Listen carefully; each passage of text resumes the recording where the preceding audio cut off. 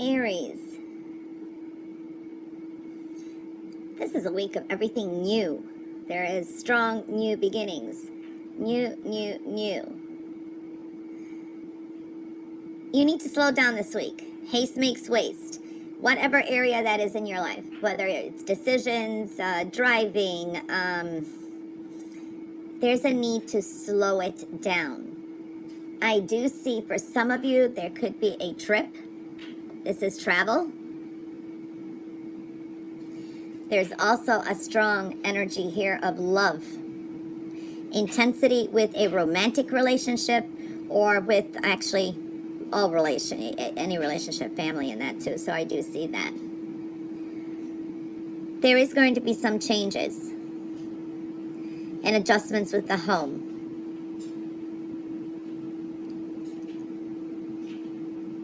Some of you have your guard up somehow.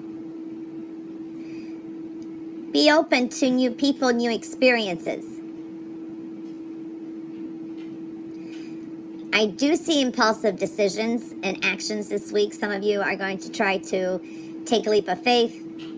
May work out, may not. General reading. Delays. Divine timing. This is a week of following your intuition. Now, not everything is as it seems here.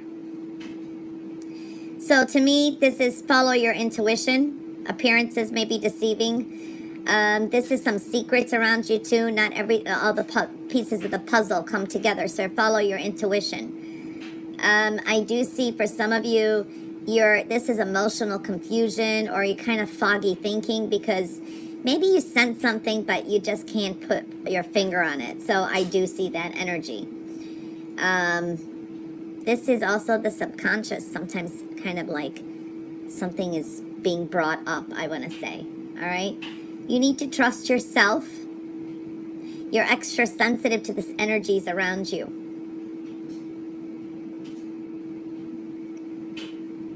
Dealing with ethics and high morals this week, too. So I do see that energy. This is a week of trying to balance these polarities as well. New financial beginning. For some of you, setting off a new career. There could be a change there. Change of career direction is showing up. This can be a new job that's being offered too, so I'm seeing that. New financial beginning. You have strong new beginnings now. I do see being inspired, um, excited as well. There can be some news of travel or so from someone from a distance.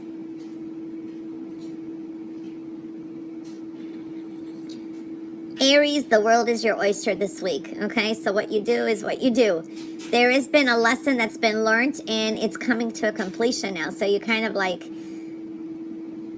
a lesson or maybe a course that you were taking. So I do see that.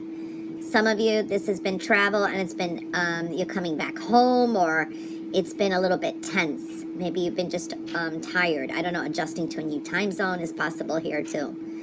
Watch out for headaches this week. I do see that energy, so get the rest that you need. I see anxiety. I see here where you're kind of, there's a lack of sleep here. This is internal torment for some of you. It's like you're overthinking some things too. Now, there can be some arguments. Pick and choose your battles this week because I see you like lack of sleep because of it or there's regrets. So I'm seeing that. So pick and choose your battles this week.